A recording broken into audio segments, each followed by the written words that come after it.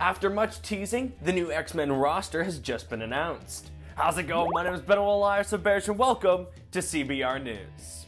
Having previously announced Polaris as the winner of the fan vote for the final roster spot on the X-Men team, Marvel has released the entire lineup. Joining Cyclops, Marvel Girl, and Polaris are Sunfire, Rogue, Wolverine, and Synch. The Wolverine on this X-Men squad is Laura Kinney, also known as X-23 instead of Logan.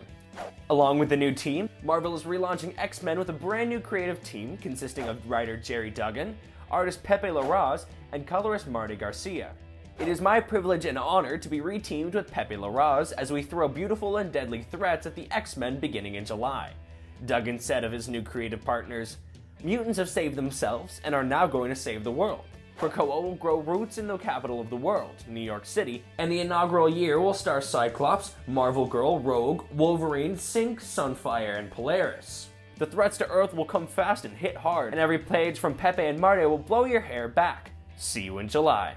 We also got our first glance at the new team in action with the first issue's main cover and variant both showcasing the new group in all of their glory. I don't know about you guys, but I am really excited to see this new iteration of the X-Men. Once again, my name is Ben Elias Bears, and be sure to check out CBR.com, your go-to place for comic book and superhero movie fans. Thanks for watching, and I'll catch you later.